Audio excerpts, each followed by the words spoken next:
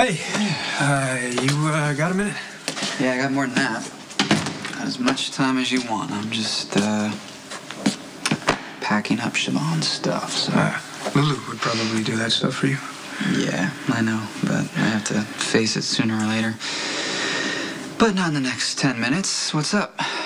Uh, nothing. I'm just trying to uh, tie up the uh, bakery case. The coroner confirms the last two bodies that come in were Rudy Trujillo and a low-level dealer, the name of John Thomas Dykstra. yeah, yeah. JT, he's the the dealer I was meeting with. He got me shot up. Oh, well, anyway, three of these bodies, JT, Joey Bruzetta, and the guy who was working at the, at the hospital as a janitor, Daryl Hayes, Yeah.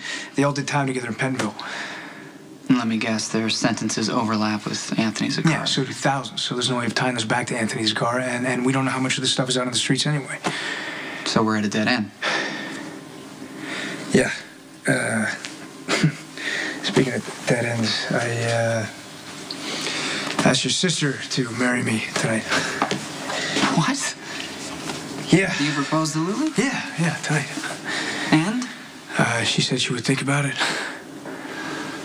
Oh. What? What's that?